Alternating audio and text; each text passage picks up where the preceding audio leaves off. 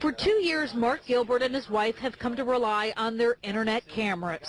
You almost couldn't live without it. With them, they could watch their two toddlers in their rooms, but over the weekend, someone else was watching too. It felt like somebody broke into our house. Gilbert says he first heard a voice from down the hall. As he and his wife got closer, what it was saying got worse. He said, uh, uh, wake up Alyson, you little Soon he knew it was coming from the camera. I see that camera move on us. Gilbert immediately pulled the plug and started doing research.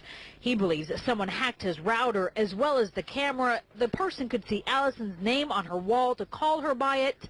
He now wants to warn other parents about the danger. As a father, um, you know, I'm supposed to protect her against people like this, and so it's uh, it's a little embarrassing, uh, you know, to say the least, but uh, it's not going to happen again.